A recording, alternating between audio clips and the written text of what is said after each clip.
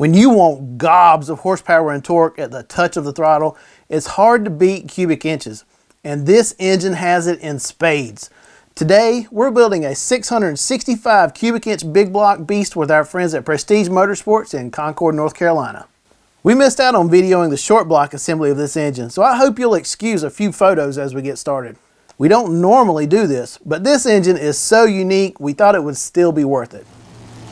The whole point of this engine is to create an astounding amount of power from a naturally aspirated pump gas engine, and Prestige decided to do it with tons of cubic inches. This specific build will be going into a high performance airboat, but the same recipe can make an unbelievable tire roaster in a car or a truck. It all starts with an aluminum block from Brodix. The Chevy style big blocks from Brodix has a lot of great features. Namely, it will take the 4 inch 600 thousandths bore we'll be using. It also has the cam tunnel raised 400 thousandths of an inch and a very tall 11.1 inch deck height to allow for a massive 5 inch stroke. To handle all the power we'll be producing, there are billet steel splayed bolt main caps and some seriously beefy webbing in the lifter valley. Plus, it's all aluminum, so even though the tall deck block means this engine will be both taller and wider than a standard big block, it will still be lighter than a smaller iron block. After machining and blueprinting the cast aluminum block, one of the first modifications Prestige made was to install piston oil squirters that pump pressurized oil to the underside of each piston this helps keep them cool even during extended full throttle blasts. Of course, you can't make the most of nearly 700 cubic inches if you can't move enough air and fuel into the combustion chambers to keep all those cubic inches properly fed. That requires a pretty impressive set of cylinder heads. And for that task, Prestige chose Air Fuel Research's new 18 degree Magnum cylinder heads because they are about the only option that can keep up with the demands of this engine. AFR's Magnum straighten the valves up to an 18 degree angle versus a conventional 24, and they pair that with intake ports that have been raised a full half of an inch.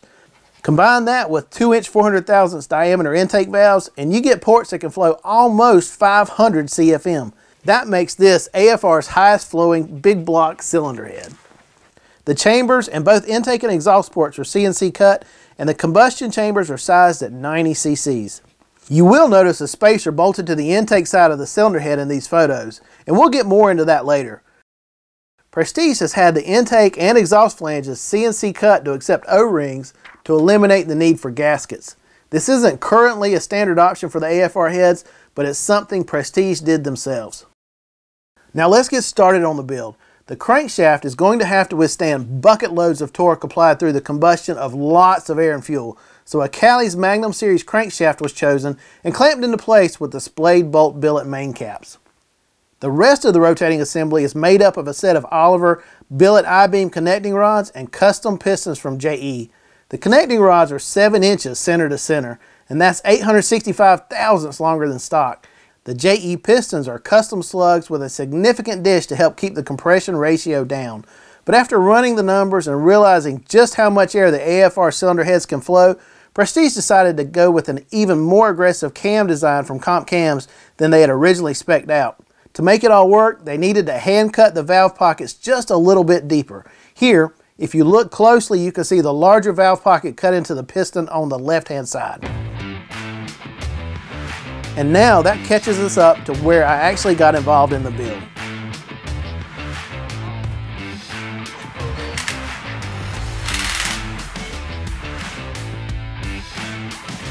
Here, lead engine assembler Larry Broker installs ARP head studs into the block. Head studs aren't as popular in street machines where it can make the cylinder heads difficult to remove with the engine still in the car, but that isn't an issue on a wide open airboat, and studs are better at maintaining good cylinder sealing without distorting the cylinder bores. And here's a better look at the pistons and the bores. The dish you see is 233 thousandths of an inch deep with a volume of 44 cc's. Along with the 90cc combustion chambers, that keeps the compression down to a pump gas friendly 10.4 to 1. The bigger valve reliefs that were cut in the top of the pistons are because of the very aggressive solid roller cam from Comp Cams. At 50 thousandths lift, this cam is ground with 274 degrees of duration for the intakes and 282 for the exhausts, with 110 degrees of separation. Gross valve lift with 1.7 ratio rockers is 717 thousandths for the intakes and 715 for the exhausts. Up front, there is no conventional timing chain. Instead, Prestige is using a belt drive setup from Jesel. Belts do a better job of providing consistent valve timing and they're more resistant to stretch. In this shot, you can see the crank trigger installed and one of the magnets lined up with the trigger. Check out these custom made spacers at the front and rear of the block. These must be bolted in place before the heads and spacers can go on. Hang in there, you'll see exactly why in a minute.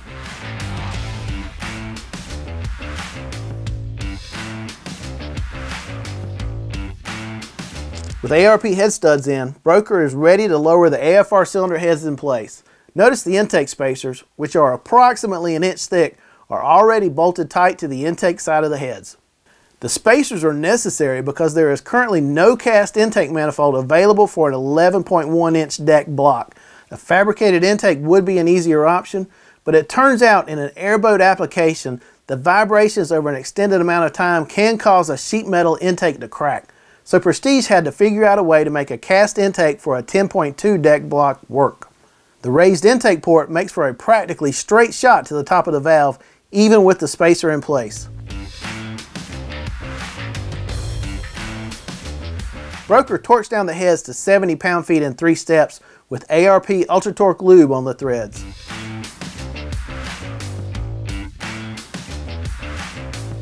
And here's a better shot of the China wall spacers with the heads on. You can see how they are necessary to seal off the gap because the spacers create extra length on the intake side of the heads. The valve springs are a double nested setup from AFR held in place by titanium retainers. The springs are rated at 240 pounds per inch and at full lift that comes out to 650 pounds of pressure. Now we're ready to move on to the valve train.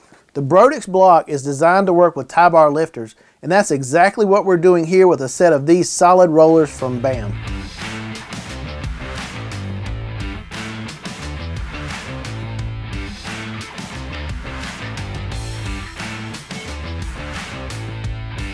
T&D was sourced to provide the rocker arms.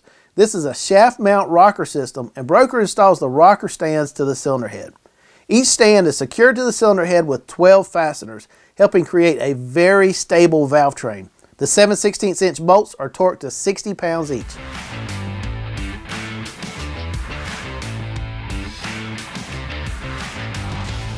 The push rods are heavy duty units that shouldn't flex even with high spring pressures and extra length required from the tall deck height. These 7 16 inch diameter push rods are made by Manton with a 120 thousandths wall thickness. The intakes are 10 inches long while the exhausts are longer at 10 inches 700 thousandths. And with the push rods in place, the rocker arms can finally go on. Each rocker pivots on its own shaft with two fasteners securing it to the rocker stand. These are aluminum rockers from T&D and the stock ratio of 1.7 to 1.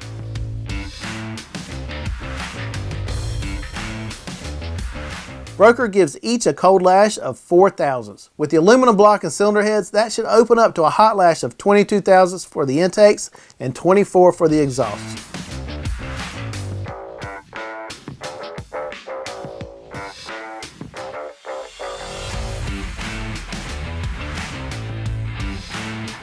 To help free up a little extra horsepower, Broker installs a belt-driven vacuum pump from Moroso. That's the puke tank and breather for it on the right.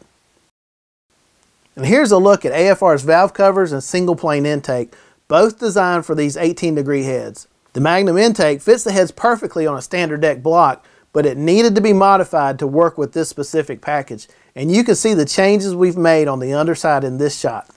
The box in the front is an oil baffle that was going to be used for the vacuum pump, but it turned out that the pump pulled too much oil from this position, so the vacuum ports were moved to the valve covers. The big change is at the back. The customer wanted to run a distributor and not individual coil packs, so Prestige had to modify the distributor mounting boss because the intake is now sitting too high with the spacers. They did this by cutting out the distributor mounting boss from the deck of the intake, lowering it, and then welding it back into position. Remember, this is a lot tougher than it looks because the distributor mounting boss location must not only be correct vertically, but also laterally as well as forward and aft in order to ensure correct gear alignment between the distributor gear and the camshaft. If it's not right, you're going to be tearing stuff up. Here's the final result. And although the process was quite time consuming, everything turned out great. And with that, we're finally able to get this 10.9 liter behemoth on the dyno. The carburetor is a Holley Gen 3 Ultra Dominator. This is a race specific carb with three circuits and it's rated at 1475 CFM. It takes a big carb to feed big cubic inches and that's exactly what we've got here. Plus the Holley sitting on top of a 1 inch 4 hole spacer. We started off using a set of Prestige's dyno headers to baseline the engine. These headers have a single 2 and a quarter inch pipe feeding a 4 into 1 merge collector.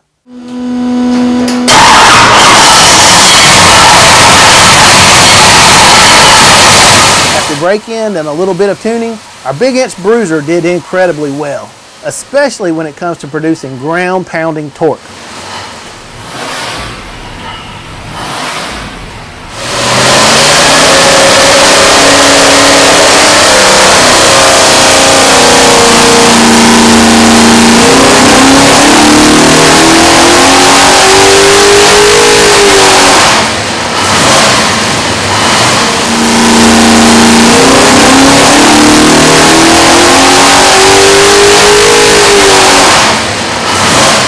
Because this engine has an extremely long 5-inch stroke, Prestige didn't want to push the RPMs too high.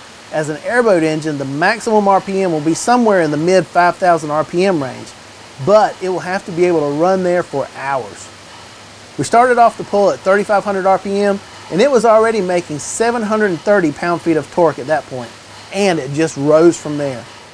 Peak torque was 910.7 at 5,000 RPM, and by the time we pulled back on the handle at 6200 RPM, it was still making 834. Peak horsepower was 984.5 at 6200 RPM and still climbing. After that, we made a swap to a set of custom headers Prestige built especially for this engine. Besides having a shape more suited to airboats, these headers are a little larger with two and a quarter inch primaries and step ups to two and three eighths of an inch in the secondary tubes. Like the dyno headers, the pipes merge into 4 into 1 collectors.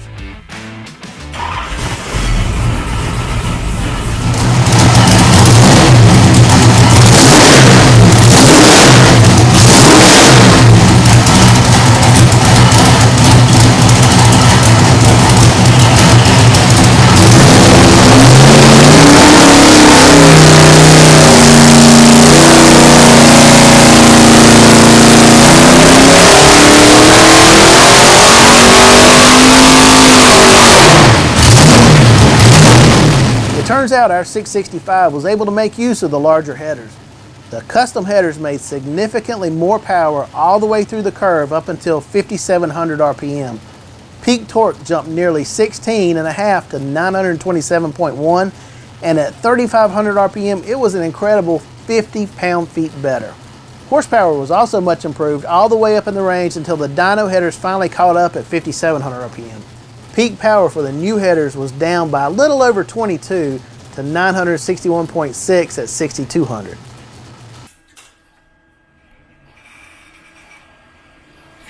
After that, we made one final test.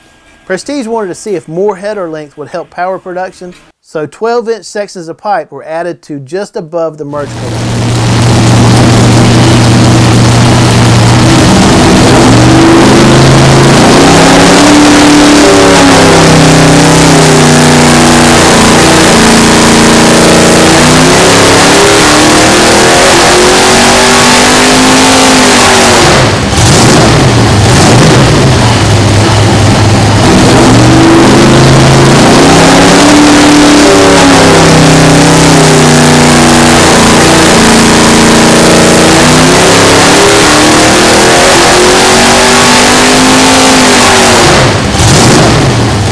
results this time around weren't nearly as concrete.